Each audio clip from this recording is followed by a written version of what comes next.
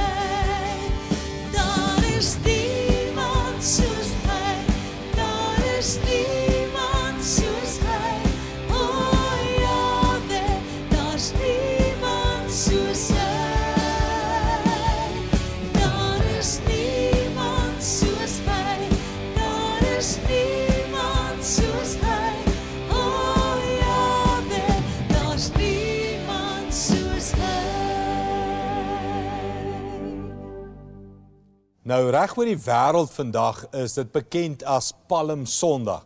Dis die Sondag wat Jesus uh Jerusalem ingekom het op 'n donkie en die mense het uh, palmtakke in hulle klere voor hom neergegooi. Nou ek het gedink, kom ons trek so 'n mooi groen hempie aan, dan is dit 'n palmtakkie en dis wat hulle voor Jesus neergegooi het en gesing het Hosanna, Hosanna aan die koning in die hoogste hemele en geseënd is hy wat kom en natuurlik weet jy en ek dat 5 6 7 dae later skree dieselfde mense kruisig hom kruisig hom. So ons gaan bietjie praat oor daai verandering. As as jou lewe ewe skielik so verander. Jesus is 'n kenner daarvan. Prakties die storie, Sondag is hy die hero, Vrydag is hy zero, né? Nee? Uh, ander spreekwoord, vandag is hy die bil, môre is hy die nul, né? Nee? So so daar's iets van uh, hy ken applous en dan ken hy beskuldigings. Hy ken op hemel en dan ken hy slaan. So so dis iets van hoe vinnig kan die lewe vir jou en my verander. Nou, kom ons raak prakties. Het jy dit al beleef? Eendag gaan jou hele lewe nog aan, dis lag, dis kinders, dis speel, dis dis 'n lekker lewe en dan die volgende dag is daar 'n ongeluk of dis kanker of daar's geweld of moord of 'n huisbraak of iets soos dit of 'n dissiplinêr by die werk en jou hele lewe verander. Niks is ooit vir dieselfde nie. En dis dis waaroor my boek baie gaan, val en opstaan. En ek het so 'n paar hoofstukke in die boek van as alles verander of van hero tot zero of wat ook al. So daar's 'n paar hoofstukke in hierdie boek val en opstaan want want dis so groot deel van jou en my lewe as jy oud genoeg geword het, het jy dit al baie beleef dat jou lewe ewe skielik drasties net verander. Nou die groot vraag is, hoe hanteer 'n mens dit? Hoe hoe groei ek? Hoe hoe oorleef ek? Hoe word ek intedeel sterker deur hierdie skielike veranderings waar ek dink my lewe sal nooit weer dieselfde wees nie. Alles het verander, ons land het verander, my gesin het verander, alles het verander. Hoe nou? Nou sielkinders sal vir jou sê, hierdie verandering is van die moeilikste goed vir die mensdom om mee te te cope, né? Dit dit vat tyd om alles te verwerk in jou brein. Alles wat gebeur het, hoekom dit gebeur het, wat gaan aan? Wat is presies die voordele, die nadele? D dit vat 'n ontsettende lang tyd in jou kop net om deur dit te kom. Terwyl jy goed in jou kop aan die gang is, vat dit 'n lang tyd in jou hart en jou emosies om alles te verwerk. Daar daar's skuldgevoelens, daar's daar's woede vir mense, daar's al daai aggressie en moods en daar's 'n stuk depressie wat saam met verandering kom. So dit dis baie kompleks. Verandering is een van die mees komplekse goed om deur te werk. Nou die slim ouens sê, daar's net een ding wat jy moet weet van verandering en dit is dat verandering konstant is. so met ander woorde verandering sal altyd plaasvind. Daar daar's een iets wat nooit sal verander nie en dis dat goed altyd sal verander. So so jy moet dit weet en hoe hoe vinniger ek en jy sterk word, hoe om verandering te hanteer, hoe beter gaan ons lewe wees. Kom ek begin vir jou met 'n storie. Nie net Jesus Palm Sondag en hoe hy dit moes hanteer nie, maar Israel. Israel is in Egipte. Hulle is gevangenes vir 400 jaar. 400 jaar is 'n baie lang tyd, né? 400 jaar sê ek was so, my paale was so, my oupaale was so, my oupa grootjie was so. Dis dis 'n lang tyd. 400 jaar eet hulle die kos van die Egiptenare. So hulle is slawe, maar die Egiptenare moet vir hulle kos soort van voorsien. Daar's lande, daar's diere, daar's al hierdie goed. Hulle werk dit, maar hulle kry die kos by die Egiptenare. Kyk die kospotte van Egipte. Jy het al daai woord gehoor. Nou kom die Here en hy verlos hulle uit Egipte uit. En jy ken die storie Moses hulle en hulle begin hulle 40 dae uit Egipte uit en hulle gaan deur die Rooi See en hulle kom in die woestyn en hier kies hulle saam met uh, Joshua ons het al daarna gekyk kies hulle om nie die werk te doen nie en hulle 40 dae word 40 jaar. Dit was al die raai storie, nê? Nou nou is hulle 40 jaar in die woestyn. En in die woestyn wat begin gebeur? Hulle murmureer en kla en sê ons verlang terug na die kospotte van Egipte toe. Wat wat dit beteken is ons hou nie van verandering nie. Dinge het verander. Laasweek het ons nog kos by die Egiptenare gekry. Daar was 'n ou skaapboutjie ingewees en daar was 'n lekker brood en en hy's mooi gesny en garlic butter op en man, dit was lekker. Ja, dit was slawe. Dit was nie lekker om 'n slaaf te wees nie, maar at least ons het wynpers gehad en die druiwesap het gegis en alles was lekker en ons het in Egipte gebly en ons het gebraai en man, dit was nie so sleg nie. Ons was slawe. Maar maar at least ons het lekker geëet en gekuier, ons het almal in die straat geken en ons was kinders al daar, my oupa hulle was daar, my oupa grootjie hulle was. Hey, toe verander alles. Nou hier hier gebeur dit die eerste keer en Israel weet nie. Mense weet nie hoe om te werk deur verandering nie. Nou, ek weet nie of jy die stories onthou nie, maar God word kwaad vir Israel omdat hulle so kerm en kla en moan en murmureer. En Moses sê vir hulle die Here word kwaad en daar kom slange en pikouens en ouens gaan dood en daar klomp goed gebeur, maar aan die einde van die storie begin die Here om aan Israel manna te voorsien. Nou hierdie manna storie, die woord manna beteken letterlik, "Hæ? Wat is dit? So so die volgende oggend is daar manna en die ou stap uit sy tent uit en hy sê, "Hæ? Wat is dit?" Dis wat manna beteken. Jy het nie 'n klou wat dit is nie, maar ek hoor is nogal lekker geweest. So so u kry hulle manna. En die Here voorsien vir hulle manna in en elke oggend, uh ses oggende van die week is daar manna. Elke oggend jy uit jou tent uit kom, tel jy die manna op, bakke vol manna. En en vir 6 dae kan jy die manna bymekaar maak en eet. Die 7de dag of die 6de dag moet jy twee keer soveel bymekaar maak want die 7de dag is die Sabbatdag vas aan die manna nie. Nou dalk onthou jy die stories, nê? Nee? Daai Bybel lekker stories. Nou nou hier's die ding. Nou nou kry hulle manna elke dag. So so dis nou in my gedagte, dis amper soos ek weet nie van julle huis nie, maar dis soos hoendervleis, nê? Jy kry maandag hoender, dinsdag hoender, woensdag hoender, donderdag hoender, hoender, hoender, hoender, hoender. Nou naderhand wil jy nie meer hoender hê nie, nê? Nou nou dis waar Israel al weer is. Dis manna in die oggend, is manna pap, in die middag is dit manna burgers in die aand is dit manna steak, maar dit bly manna. So so hulle kry manna, jy het hom, nê? En hulle eet hulle manna. Dan kom daar 'n dag Hulle is by die beloofde land. Hulle het Kanaan en Jerigo en al hierdie plekke begin inneem. Elke oggend kry hulle nog manna. En een oggend staan hulle op, loop by die tent uit en raai wat? Die manna is weg. Hoor hoor hoor, hoor wat gebeur. Josua 5 vers 12 gebeur dit. Hy sê daar het nie meer manna uit die hemel geval nie. Dit het opgehou val van die dag toe hulle die kos van die land Kanaan geëet het. Die Israeliete het nie weer manna gekry nie. Hulle het daardie jaar kos geëet wat in daardie land gegroei het. Nou, nou dis net 'n ou versie daar in Josua 5, maar wat daar gebeur, dink ek moet jy ons weier gaan kyk en lees. Wat gebeur het die volgende oggend stap Janie uit sy tent uit en hy soek sy kos en die kos is weg.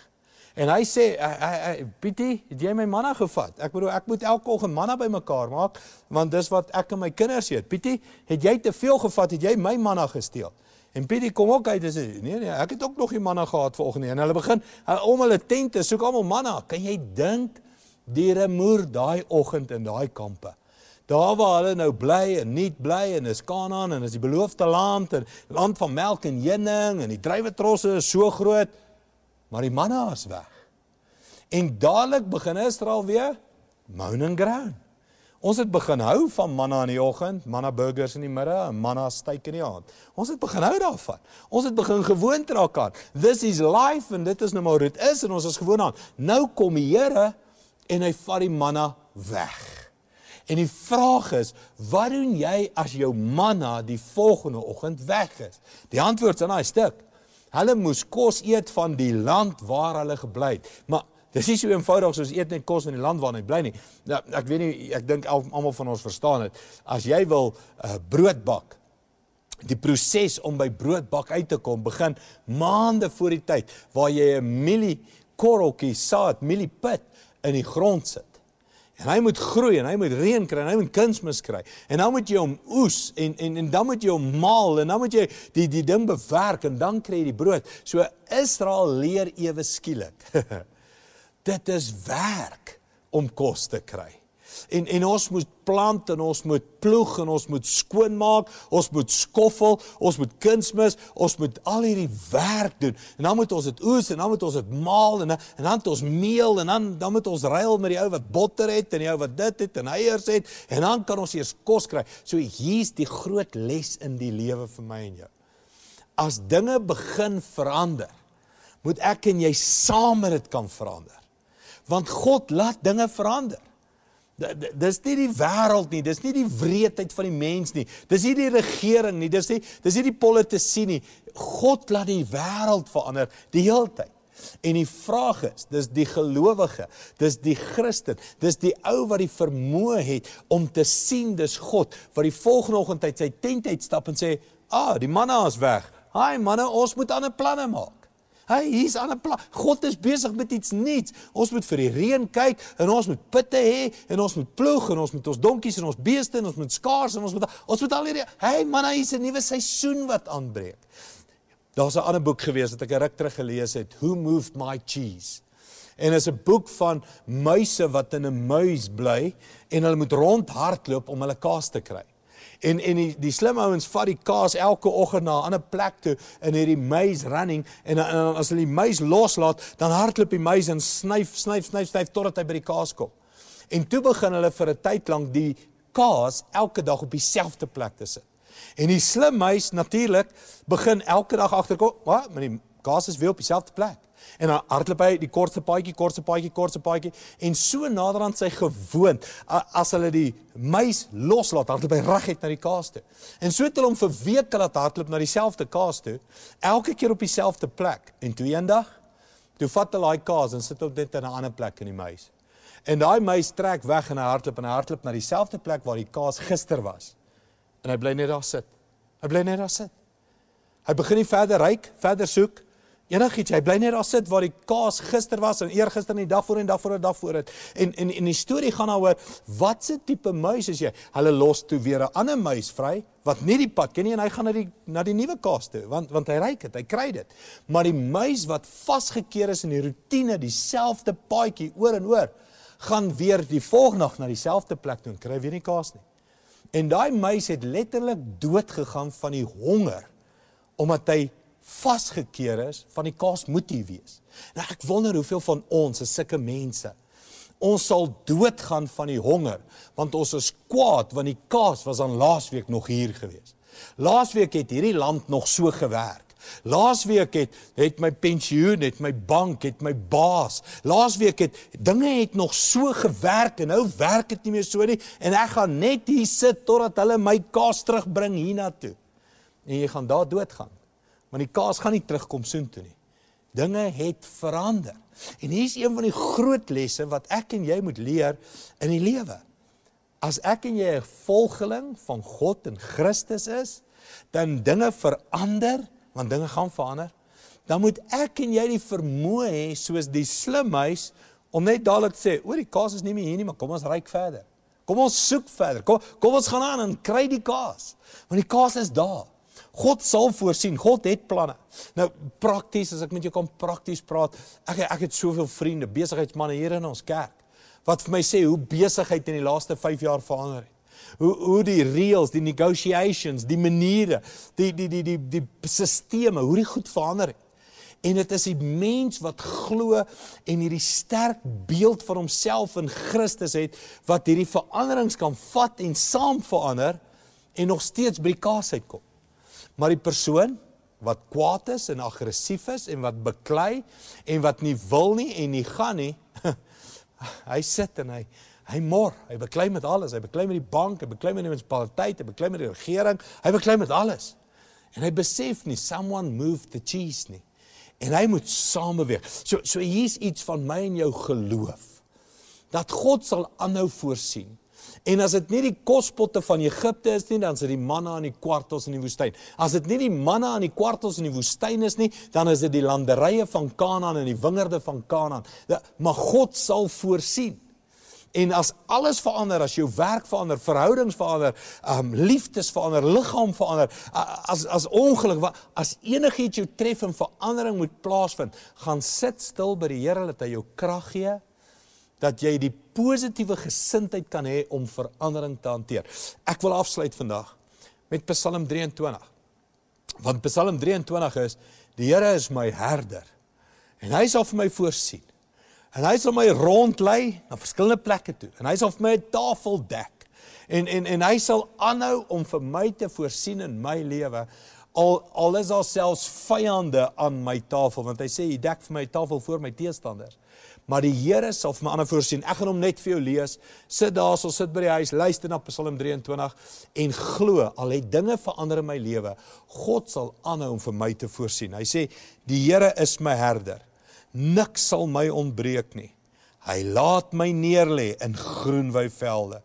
Na waters waar rus is, lei hy my heen. Hy verkoop my siel. Hy lei my in die spore van geregtigheid om sy naam ontwil. Al gaan ek ook deur 'n dal van doodskade wee, ek sal geen onheil vrees nie, want U is met my. U stok en u staf, die vertroos my. U berei die tafel voor my aangesig teenoor my teestanders. U maak my hoof vet met olie, my beker loop oor. Net goedheid en guns sal my volg al die dae van my lewe en ek sal in die huis van die Here bly in lengte van dae. Is dit nie vir net een van die mooiste psalms nie? In tye van verandering, hy sal voorsien. As jou werk verander het in hierdie tyd in ons land, as verhoudings, as jou liggaam, as jou veiligheid, as jou sekuriteite verander het, dink aan Israel. Hoe hulle gemoun en groan het, toe hulle nie meer die kospotte van Egipte het nie. Toe hulle gemoun en groan het, toe die manna nie meer daar was nie, maar hulle het hulle het begin leer dat om saam met God te werk is hy die goeie herder. Hy sal voorsien. Hy sal my na waters waar rus is lei. Al gaan ek tydelik deur veranderings in 'n dal van doodskare weer. Hy's daar, u stok, u staf te vertroos my. My teestanders, die vyande wat baie keer veranderinge in my lewe ingedwing en forceer het, God dek vir my 'n tafel voor hulle. Hy maak my hoof vet met olie en ek sal in die huis van die Here bly. So daar's vir jou 'n belofte. God sal voorsien in jou lewe. Jy moet net Jy moet net jou geloof en gesindheid regkry dat al skuif hy die kaas, is dit nog steeds God wat in beheer is en sal voorsien. Kom ons luister na hierdie lied saam. Die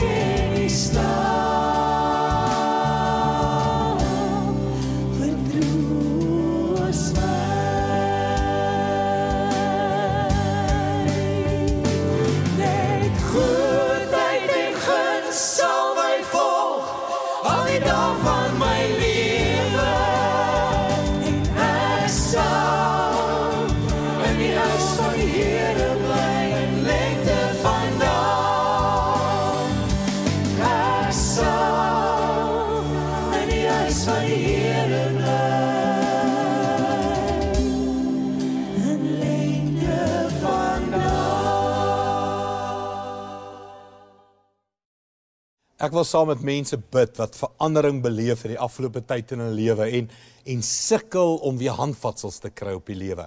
Kom ons bid saam dat jy sal glo die Here sal voorsien. Hemelse Vader, baie dankie dat ons soveel stories en bewyse het. Selfs Jesus op Palm Sondag beleef verandering. En verandering is deel van ons lewe, maar dankie dat U sal bly voorsien. U bly ons goeie herder, U bly na ons kyk, U bly vir ons sorg. En al wat ons vandag wil doen, ons wil ons geloof en ons gesindheid regkry dat U is die een wat in beheer is en U sorg vir ons. Dankie daarvoor in Jesus naam. Amen.